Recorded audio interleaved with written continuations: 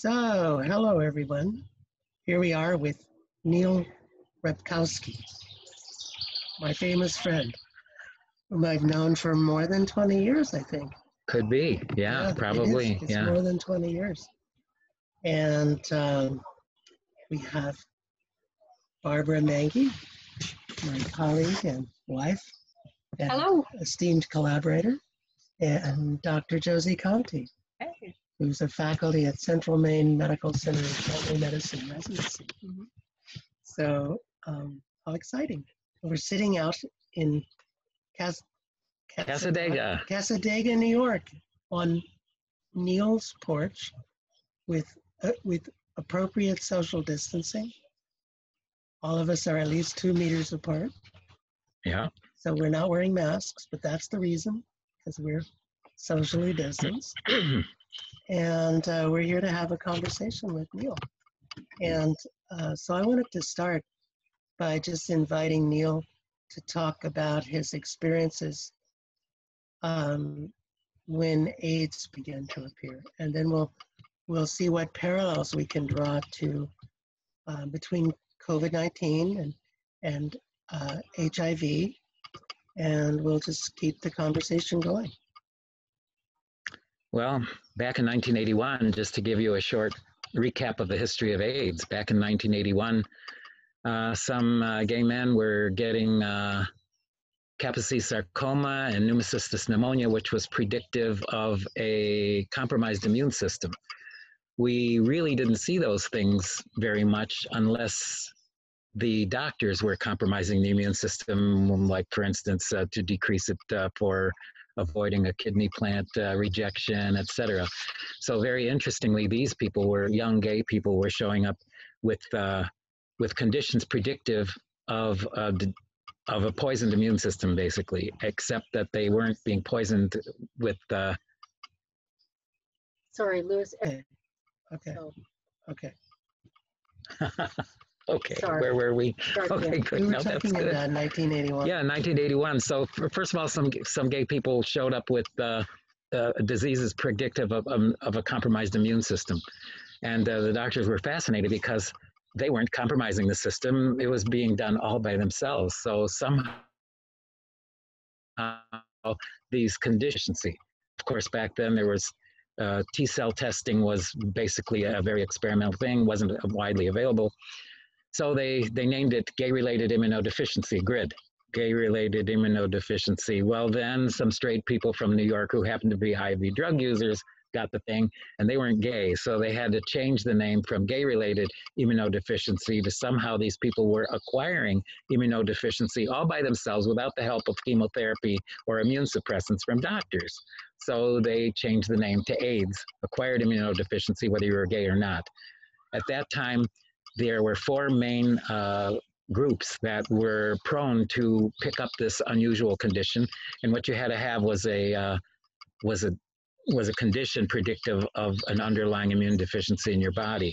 This was uh, pneumocystis carinii pneumonia, uh, disseminated crypto, cryptococcus, different different thing, crypt, uh, disseminated candida, uh, other conditions predictive of a, a lousy immune system and it was called the 4-H Club. You were either homosexual, heroin user, uh, uh, hemophiliac, or Haitian. Interestingly enough, and uh, people were puzzled about the Haitian thing, but uh, eventually uh, they figured out that the people from Haiti were actually uh, used as French speakers to go to the Belgian Congo at the time and teach the the, the natives.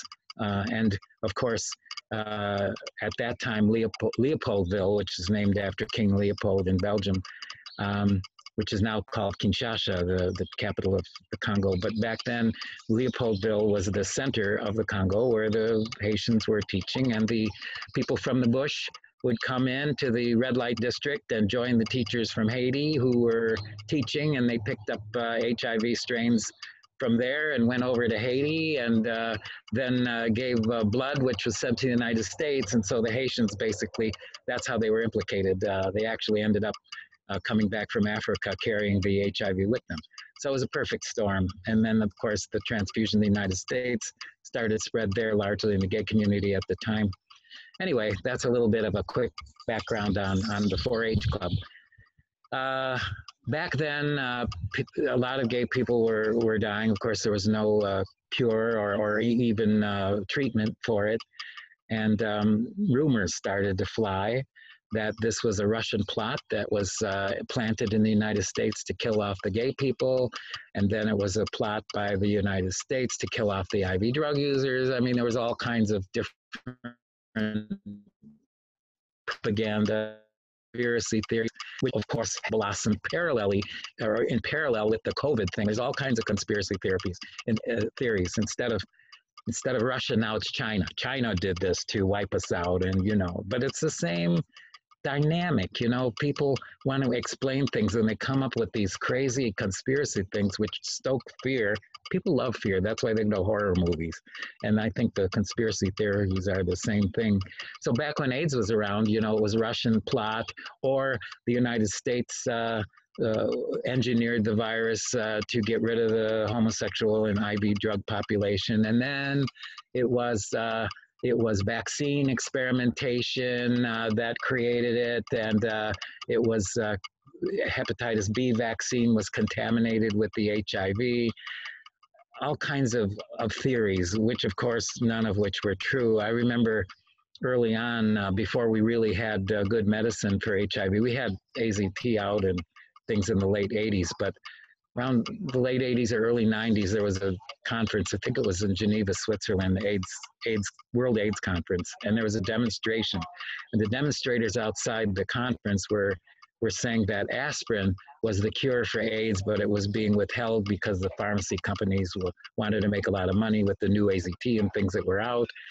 And, there's a partial truth to that because aspirin inhibits NF kappa B, which is a kind of a, a growth regulator for HIV. So there is a partial truth to it, but it certainly wasn't a cure. But they took this little kernel of truth and they turned it into a big plot. Same thing with COVID. The kernel of truth is with COVID, you get some uh, disseminated intravascular coagulation, which, uh, which you can help avoid with a little bit of aspirin.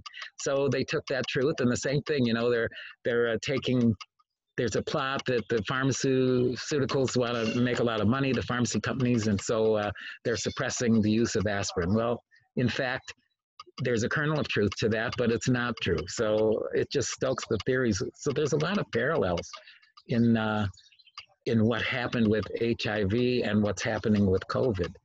And we're looking now with HIV, we have good treatments and even uh, treatments that can be used to prevent picking it up. I think eventually, e- even be, certainly we don't have a vaccine for uh, HIV, which has been researched for 20 some years, well, almost 30 years. So I don't know if we never have a vaccine for COVID uh, because it changes so much. I mean, it may be partially successful, but I think we're going to get some medicines. We're going to know how to treat better. We already do. We know that a little bit of steroid helps, and uh, we know that res- rosuvastatin helps. So uh, that's important.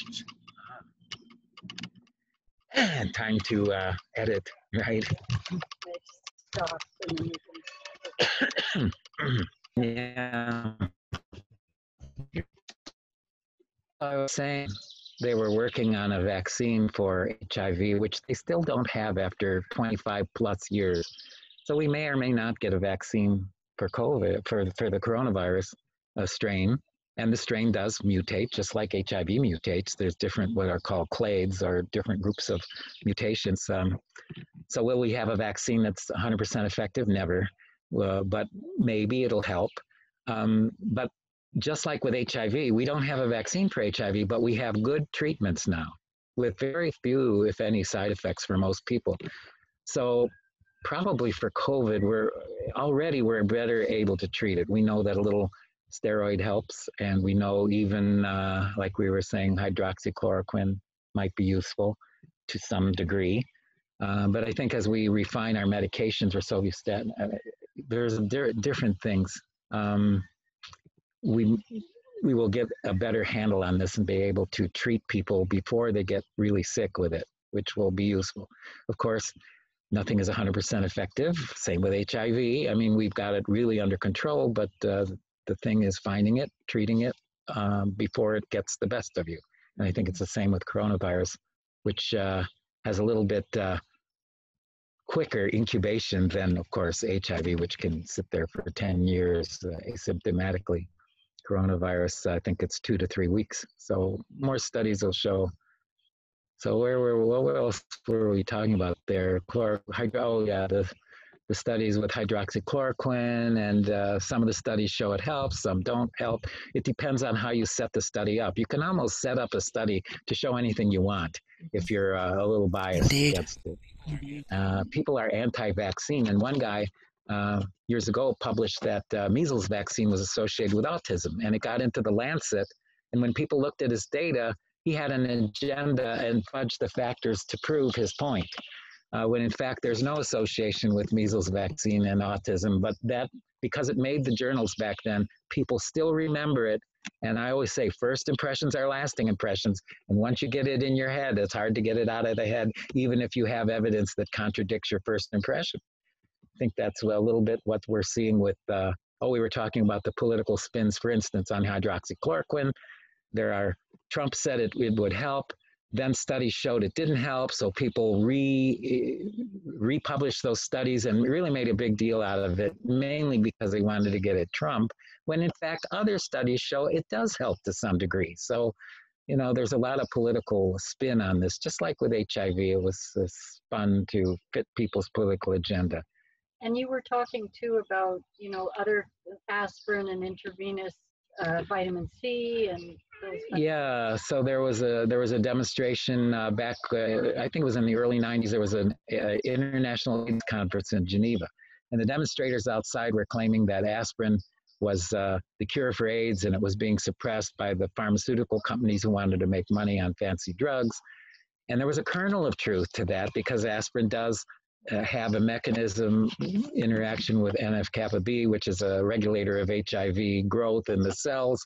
So, but it's not a cure. And so, similar to COVID, aspirin is an antithrombotic. In other words, it helps prevent little clots in your system. And um, part of COVID's problem is that it causes these little clots in the system, creating little micro strokes, uh, little heart uh, attacks, uh, little uh, poor circulation in the feet, which causes a rash in your feet.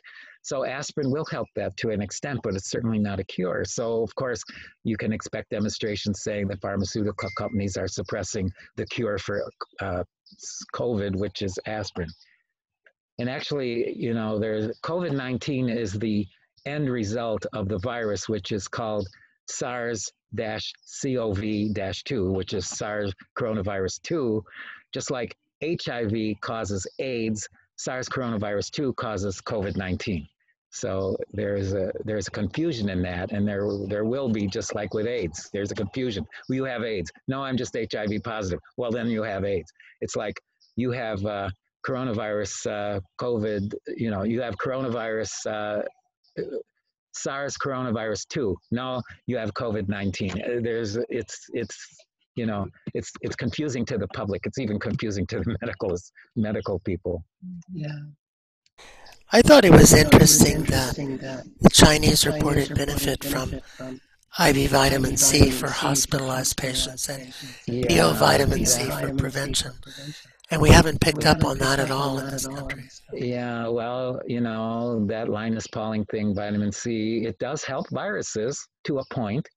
And it's parallel, reminds me of vitamin C being touted IV for HIV as well. Mhm. And I did have a patient who was all over the place and uh, he was into natural remedies and all kinds of stuff. He was taking coenzyme Q and everything. So he wanted me to give him IV vitamin C, which I did. I gave him IV vitamin C and IV multiple vitamins, everything like that. Even injected pure I, uh, vitamin C solution into his Kaposi's lesions. I did that uh, sub Q, you know. It didn't do anything, except very interestingly, and I, I asked the lab about this because I would do labs after I gave him all that IV vitamin C, and his cholesterol went down to like six which is like what? It's got to be in, in, you know in interfering somehow with his cholesterol measurement. But they they claimed that that the vitamin C didn't affect the cholesterol assay. So I thought, well, then that that proves that there's something with uh, vitamin C and uh, you know, lifting uh, cholesterol plaques from the body because it basically got rid of all the cholesterol. It was amazing. So that's the only interesting thing I found. But but of course he's he's passed on now. It, it, vitamin C didn't do anything for his uh, his AIDS or his Kaposi sarcoma, even with intralesional injections, which back then were thought to be useful. So you know, I have a an experiment of one. uh, it reminds me, you know, I, back in the 80s, I was part of a trial of typhoid vaccine. Oh, yes. The, the, it was the theory was developed by by Heimlich, you know, who, who invented the Heimlich maneuver, of course. And um, um, he, his idea was that if you stimulate the immune system, you can boost it. And so we were giving injections of typhoid vaccines to induce a fever. That was our goal, was to induce a fever. And of course, we figured out that it actually didn't do anything. Yeah, I had a I have a colleague who was an HIV doctor at the time who was injecting himself with tetanus boosters mm. all the time for his immune system. He's still around, by the way. So. Well, well, you know, the interesting thing I was telling you earlier was that we did get a response to the typhoid vaccine, and and out of I think it was 140 patients, 17 continued to manifest the response, and and over years. And so we figured out that that there is such a thing as a placebo effect, or a self-healing response with HIV. And again, we were talking about this earlier, there's an individual condition where an individual will benefit from a treatment and not really i don't think placebo and and another individual will not benefit from the same treatment for example i was meditating and and what's called a mastermind group. You you call into your mind uh, people who who know what they're doing. And so i had this mastermind group and i asked them for me back in 1980 no 19 yeah 1990 actually. It was early 90 when when A, when AZT was first coming out as treatments and I had HIV I probably picked up uh, HIV had to be in 1982 or earlier. And the reason is in 1983 we knew whatever was causing this condition was a virus and was spread by blood and body fluids. And well we didn't know it was a virus. We knew whatever it was was spread by blood, blood and body fluids. So in 1983 that's when healthcare workers and dentists uh, and uh, IV technicians universally started using gloves and universal precautions. And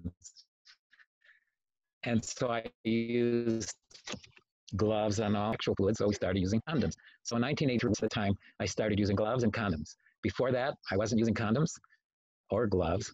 So, and most likely I picked it up from sexual encounter without condoms.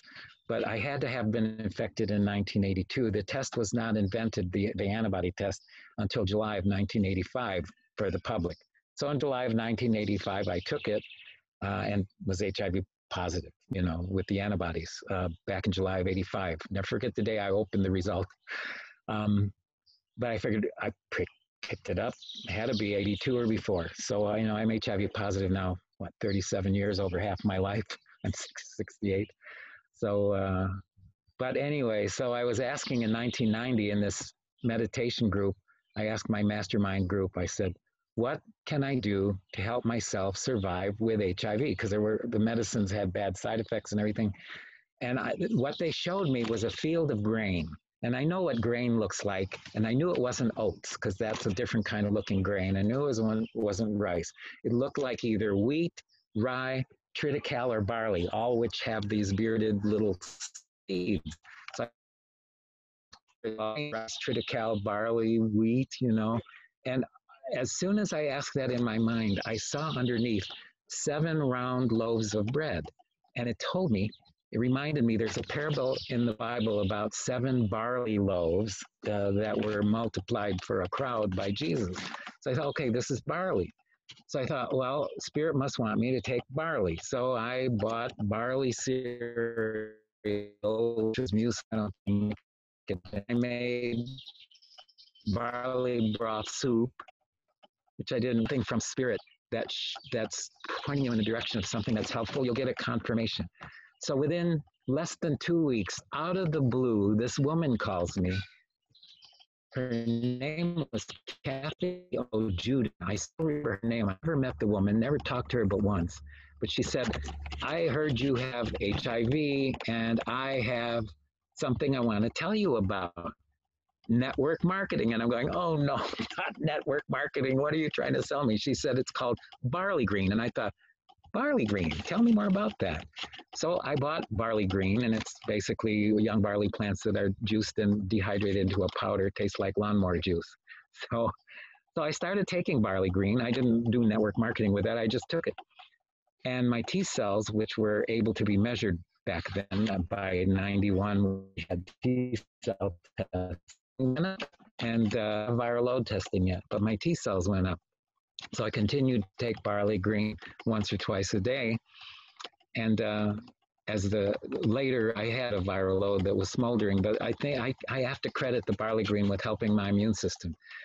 After a couple of years on it, I decided one summer that, well, you know, we're, we're doing, I'm, I was on medical trials and things with different medicines. So I stopped the barley green. T cells went down. So I, I went back on it. And I, I said, well, you know, maybe this will help some of my patients. So I gave my patients barley green. Two, I think two out of 10 that I uh, gave it to, it helped a little bit, but it didn't help like it helped me. So we'll go to individual therapy that works. Uh, since then, of course, we have really good medicines for HIV. So I stopped the barley green regularly, although I still take it about once a week. So, you know, individual therapy. And another anecdote, you know, I, I was telling Lewis earlier, I was working at the Fenway Community Health Center in Boston. Uh, and back in this was 1990, 91. I had a patient who was a, a hefty, young, good looking gay man who lived in San Diego. But he developed what's called cryptosporidial diarrhea, of which there was no cure back then. And he ended up from being, I think he was 190 pounds, went down to 130 and went back to his family in Boston basically to die. Me at General Hospital and finding that he had crypto, cryptosporidial diarrhea. He was on tincture of opium and paregoric and all these uh, opioids to help constipate him. He was still having 12 watery bowel movements a day, losing weight. So I did my best to help care for him. But two weeks before Christmas, he came in with a hemoglobin of like 6.5. And I said, You know, you need, I mean, his blood was practically water. I said, You need a transfusion. We'll put you in Beth Israel, give you a transfusion. And, you know, you're not getting any food. You're not going to build up your hemoglobin unless we IV feed you. And he said, and he came in with his father because he was too weak to come in by himself. His father brought him in in a wheelchair. And he said, I'll do anything you ask if I can just spend the weekend with my family because before this and I came home. So I looked at the father and I said, You want to do anything? And for some reason in my head popped your Cayce's castor oil remedy, which is basically a topical application of castor oil on the stomach. So I said, you know, have him watch TV, sit, lean him on the floor, put a heating pad with castor oil over his right upper quadrant, and do that over the weekend, and bring him in on Monday, and we'll get the transfusion set up. Well, I have so many patients. I, you know, I, I forgot he missed his appointment on Monday. They, they actually called and changed it. And then they changed it again, unbeknownst to me. You know, I, I'd forgotten uh, about him. And uh, two weeks later, I walked right past him in the in the waiting room because he had gained weight and was complaining for the first time of constipation after so many years of diarrhea. I couldn't believe it. He was basically cured of cryptosporidial diarrhea. So I had two other patients at that time with the same thing. I gave him the castor oil pack recommendations, didn't work. But for him, it worked because it popped into my head right at the opportune time. It was a, it was a miracle. So, um, so individual therapies beyond placebo, I think, uh, are something that probably now we were talking about gene therapy, gene identification. Maybe now we have DNA fingerprints. We can maybe individualize therapies that may work for one person but not for everybody. And and it's sort of mainstream medicine would, would trivialize sort of spirit guided therapies, and yet that was definitely yeah. And we've both seen that. We've both gotten really seemingly strange messages that we've given to people, and if and they've done them, and it's worked. I, I mean, I remember once telling someone to eat watermelon for 30 days, and and she said, "Why?" And I said, "I don't know. It just came to me." Yeah. And she actually did it, which uh-huh. may have been what cured her more than the watermelon was the uh-huh. fact that she did it. Yeah. And and and she was amazingly better. at amazingly better at the the end. days. And Yeah. and we've all seen that. Yeah. And yet it's minimized by, you know, mainstream medicine, which only accepts randomized controlled trials. Yeah. Yeah. It's applicable to a large group, but not to an individual. Right, Yeah, right. that's a good point. Yeah, Yeah. point. There are some. Women's breast cancer, breast cancer. I mean, women's breast cancer, breast cancer has been really helped by genetic testing and Yeah. genetic testing of the tumors and knowing what, um, knowing what kinds of what you're dealing with there. So there is something. So there is something, you know, in that idea of individualized medicine, but also the genetic component to be able to look at the signatures, and another piece of information. I. Yeah. That's interesting. But it, yeah. I think the Yeah, one more Oh, yeah, yeah. anecdote. Oh, uh, I had um, this was when I came back from Boston. I was here, right here in this county, uh, caring for HIV positive patients, and I had a female cabinet maker who also had cryptosporidial diarrhea. It was very, um, very. I mean, I, I, obviously hindering her lifestyle. Tried the castor oil pack, didn't work. So all of a sudden, in my head popped tincture of walnut, which is an anti-parasitic, and I just happened to have gone to the Serpent Mound in Ohio, which is a sacred place, and all over the Serpent Mound grow these walnut, black walnut trees. And I collected black walnut hulls from the Serpent Mound and made a tincture of walnut. I happened to have it, so when I was treating her, in my mind popped, give her tincture of walnut. So I took some of the walnut preparation I had prepared from the Serpent Mound, which is spiritually charged, interestingly enough, and I gave her like a, a cup of, of uh, tincture of walnut. And I said, I don't know why, but I said, take a, a quarter of a teaspoon once a day of this and see what happens with your diarrhea. Fixed. She she was able to have one bowel movement a day after that. So she uh, lived uh, for another year with cryptosporidial diarrhea being controlled with tincture of walnut. She had, uh, unfortunately, she had AIDS wasting um, and uh, knew her time was coming to an end, although she was more comfortable with her bowel movements. And it was sweet. She made, she was a cabinet maker and she made me uh, a sun, moon, and stars party before she passed. I still have it out to you.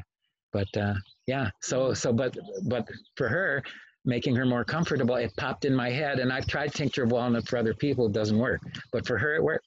But the castor oil packs did not. So it's interesting how spirit individualizes therapy. Amazing. yeah, Yeah, yeah, and it yeah, and it's somehow somehow the the the traditional elders knew that. That. Yeah. I, I remember going I to a going to a conference conference with uh, a a traditional elder traditional elder. who, you know, we were on a panel, panel, you know, and, and and there was a nurse in the audience, and she She asked asked him, him, "So how do you treat arthritis?" And he said, "Well, I don't know her. Why don't you bring her around to my house tomorrow, and I'll let you know." There you go. Yeah, Yeah. yeah, Exactly. Yeah, Exactly. And certain preparation, like I mentioned, this tincture of walnut was collected in a certain way in a certain place. So you can say, oh, well, we'll just take some walnut hulls and make tincture of walnut. It may not work. There's a walnut tree right there.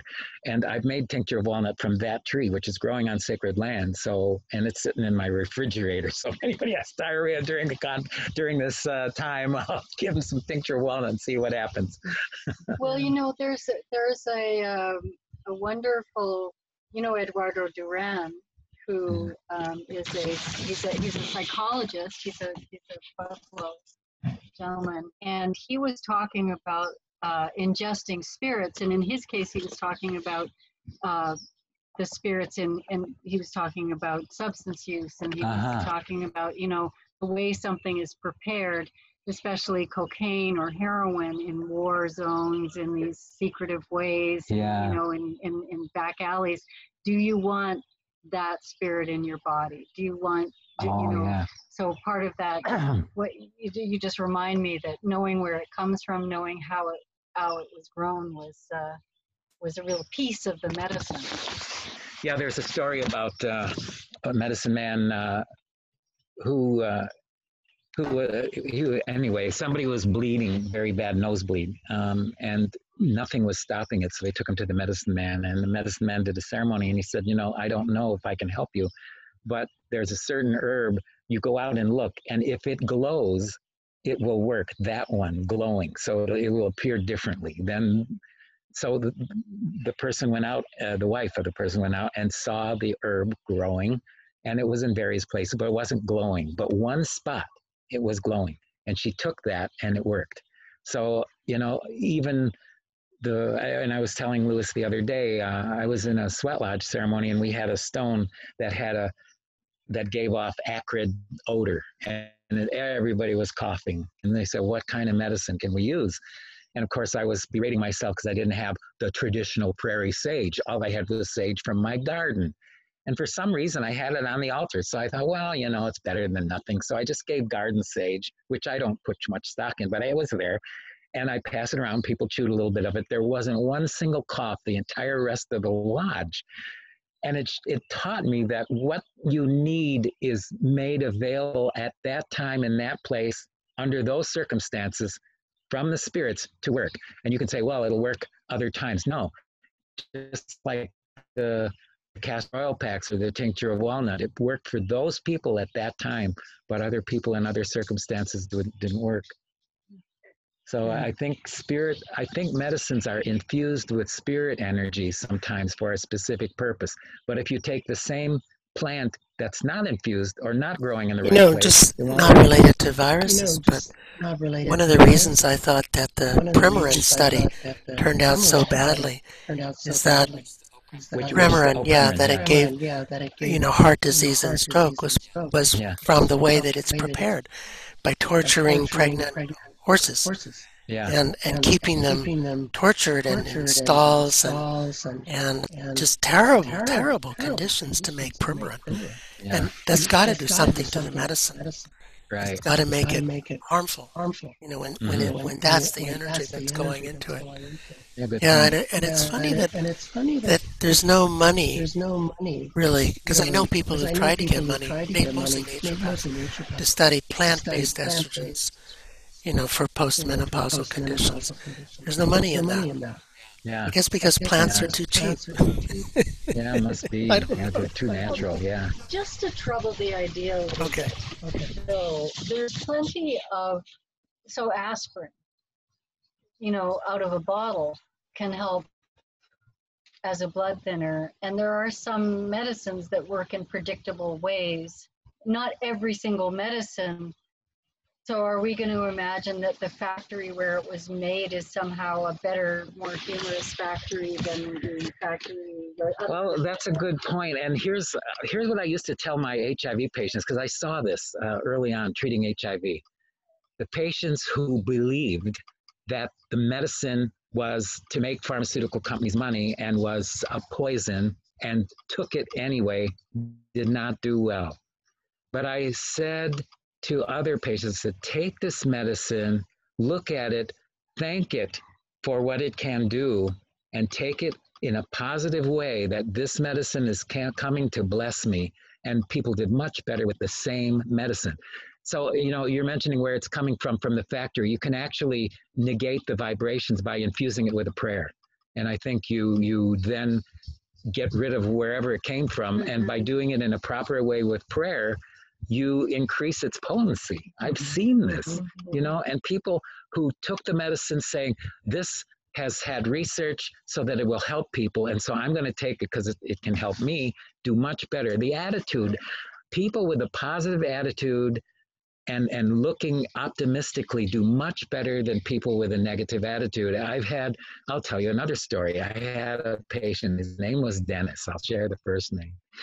He, he had a terrible attitude about HIV. He would come in, this is when I was working in the Erie County Medical Center in Buffalo and nobody could do anything right for him. He would come in, and the uh, he had a chip on his shoulder. Uh, HIV was uh, and it was a plot from the government to kill off gay people, and nobody understood him, and uh, nobody could do anything right. And the nurses would take his blood pressure, and they couldn't do it right, and he was just grumpy, you know. And then I would see him, and I'd say, you know, Dennis, your attitude is going to kill you, not the HIV. Oh, it's not, you know.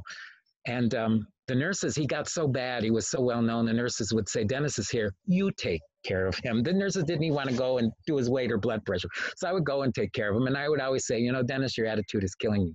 Well, one day he came in in a wheelchair because he was wasting away and getting worse and worse. So his friend brought him in in a wheelchair and he had what we call the look. I don't know if you've ever heard that. The look. You have the look. Everybody looked at Dennis, sunken eyes, respirations. I said, Dennis, you have the look. And he goes to me, What's the look?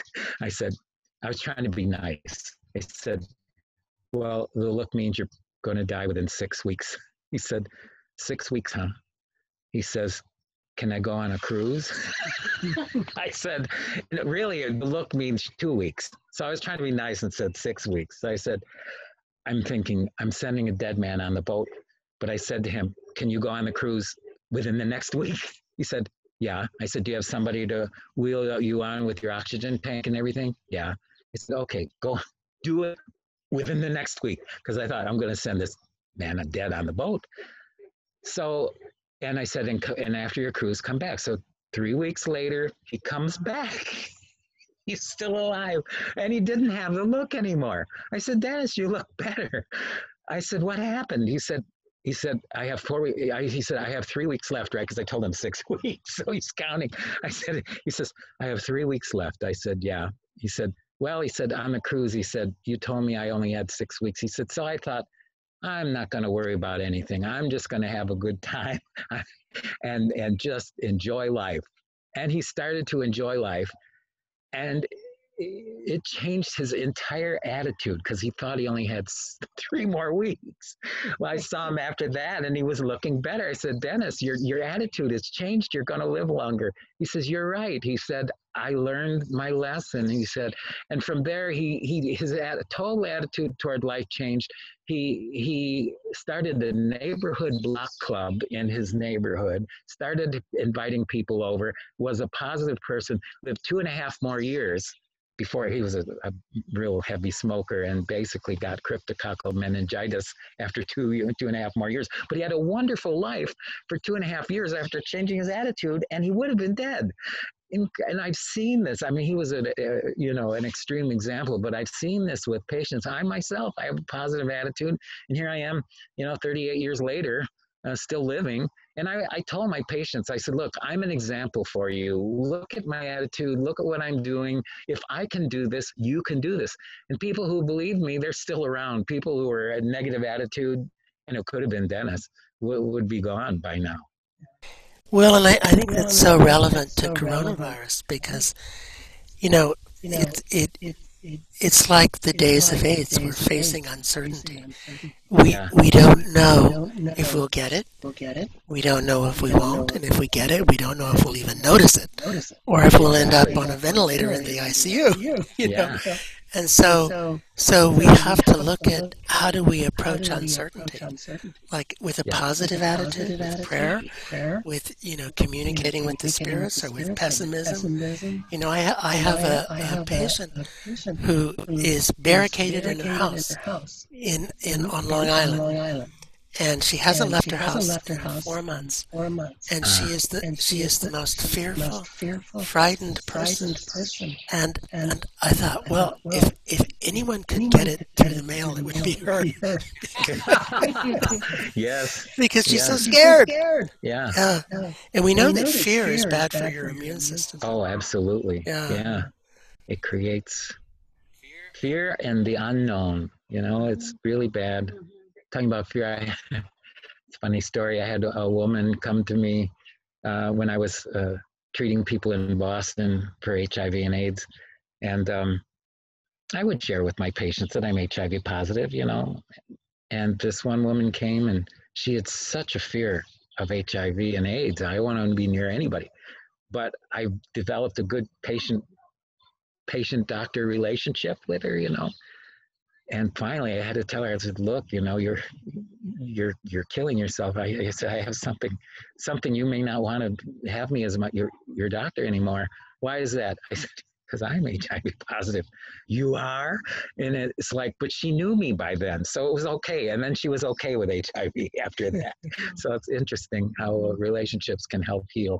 Just relationships. Yeah, rapport. yeah, and you know, the, And you know, the, the- this is something that I think that I think indigenous indigenous healers have known for thousands of years, and yet, you know, we've forgotten it in modern medicine. medicine. We don't appreciate appreciate the importance of attitude and relationship and, and and um, um, being being positive, positive in the and energy energy that of the the situation. situation. One thing I was taught in medical school by the old family doctors, they said, you know, with women, you know, he said, they can be sick and you know they're ready for discharge within the fir- within the next couple of days when they start putting their makeup back on.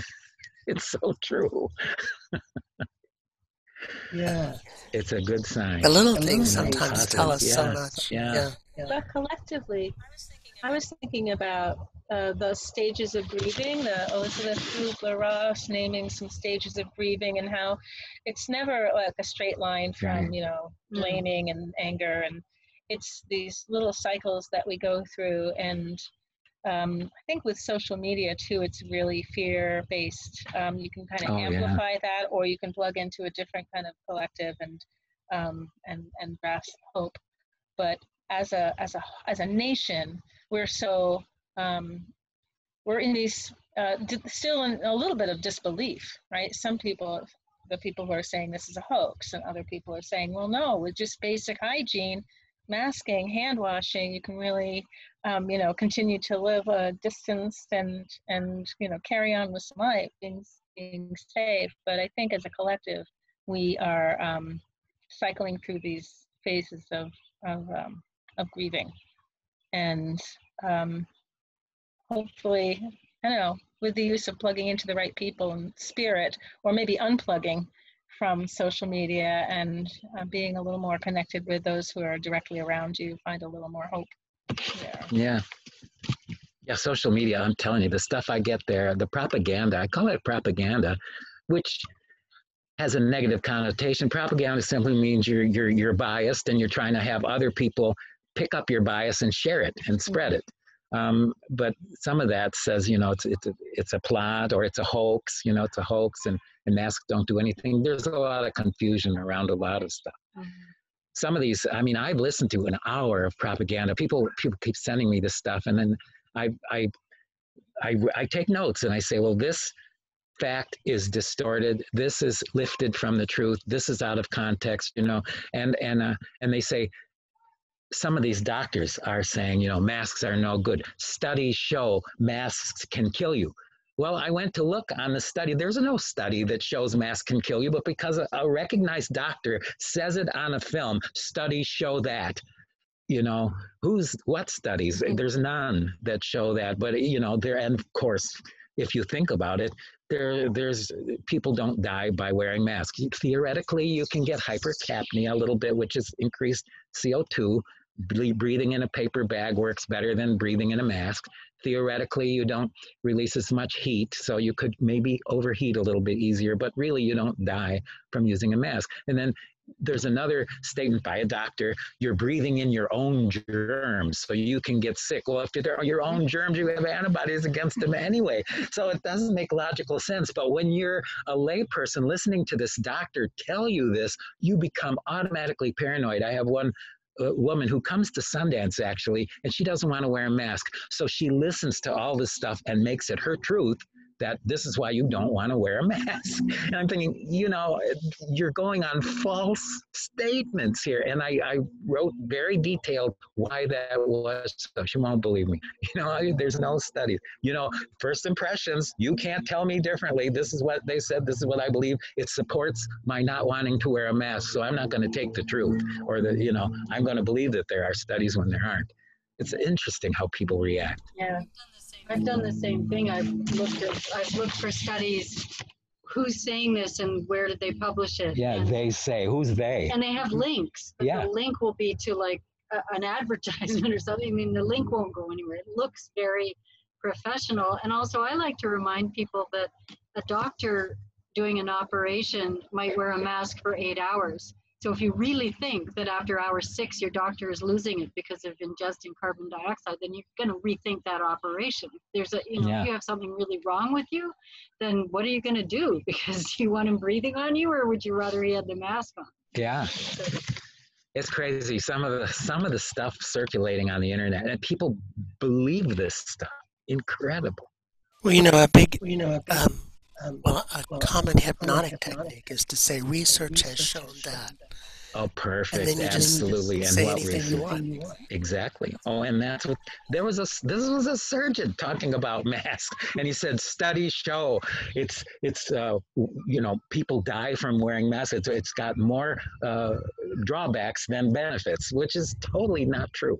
But it's a surgeon saying it, so you know.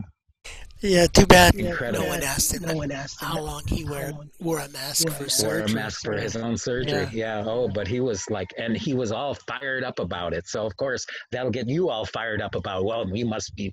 That's right. You know, it's incredible. And you're right. It's like a mass hypnosis, really. Uh, and social media is a wonderful way to hypnotize a lot of people into believing wrong things. So, you know, in the old days, just because it's written doesn't make it's true. Just because it's on social media, probably it's not true. So you want to really Yeah, it's so true. care. Yeah, The- so true. And you know, I I have know, I, I have- use I Facebook use mostly to mostly to send out send information, out information about things that I'm doing, things that I'm doing. and so I have So I have um, um, friends that would friends that never be never my be my friends friends. if they Yeah. knew me. me.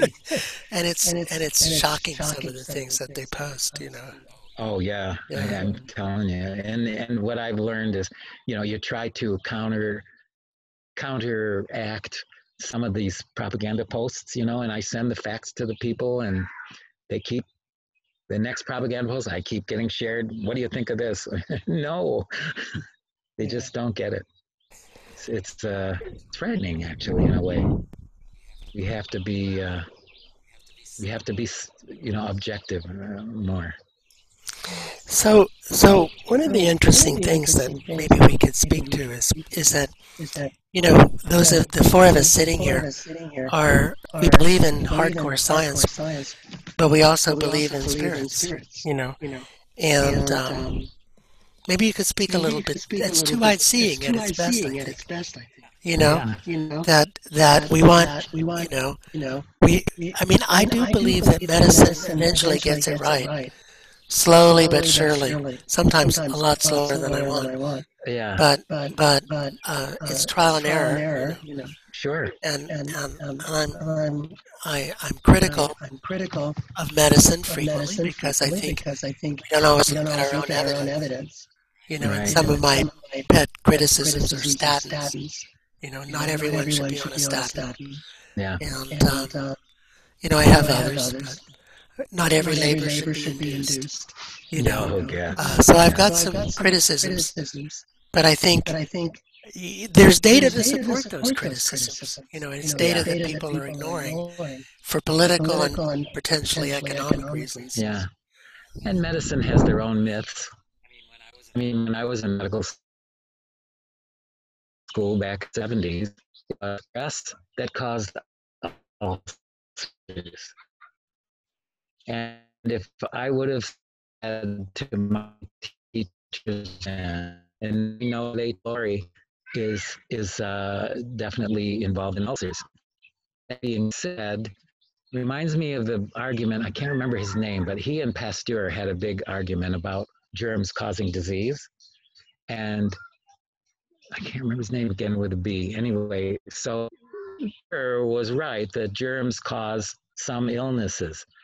But other people can have the same germs and not get ill. For instance, a lot of people carry uh, in their nasal passages uh, meningococcal uh, disease, which can cause meningitis. But yet they carry it without meningitis and without symptoms. So it's the parable of the, the, the sower with the seed. It's this, which be the germs falling on fertile ground, which is the conditions to have the, the disease manifest versus seeds falling on rocks or whatever. So is germs that might cause disease or, or certain sicknesses, but it's the, the lay of the land or, or the fertility, the, the invitation, as people can carry those germs around and not get sick. Or it gets same with COVID. Actually, you get the, the virus. People carry around that. Some people get sick, other people don't. What is the underlying predisposition to it, uh, or miasma? I guess you call it homeopathy. So the underlying predisposition. Well, age, immunocompromised to begin with. You have a position, and there's genetics involved in some of this as well, which reminds me of another thing. The Navajos really got uh, affected with uh, COVID versus their, un- their outlying communities of white people. Same thing with uh, back in the day, smallpox. Smallpox would hit white people, and we'd get over it more often than the natives who got hit with the same thing. So there's got to be a genetic predisposition to certain groups genetically, as well as, of course, clinically. I mean, whether they have the under age or or underlying immune uh, problems. So I think the lay of the land is important for COVID uh, 19 to manifest or not. Um, so we have all of this individualization in a way because of various conditions. So good point. Yeah, yeah. Well, we're, we're getting probably close to the end because you need to work on your house. I do. yeah, yeah. And uh, does anyone have any Yeah. thoughts before we're Uh, before we call it a day? before we, uh, Um, Thank. Yeah. to be continued. Before we stop, yeah, um, yeah. have you heard anything from Have any of our Lakota friends about this whole COVID? Their response to this whole COVID to this whole COVID? nineteen? Well, the Pine Ridge is on lockdown. And first of all, the, the Cheyenne River, Standing Rock, Pine Ridge, a lot of these wanted to be on lockdown early, and the governor said no. mhm. Well, Indians are a sovereign people, and they have every right to, to their, as we talking about their negative experience with, with smallpox back in the day, and it could uh, affect them worse than the population. They have ever to to lock down their reservations, and in fact, they have. Um, Pine Ridge now has 115 cases, uh, and so they've been off and on on lockdown. Um, so it, it's a problem, and they have every right to to sell. All right. Well, I want to thank you, Well, I Neal, wanna for thank you, Neal, for taking time away from time away repairing from your house your house. to talk with us. Yeah, yeah. I think I'm gonna leave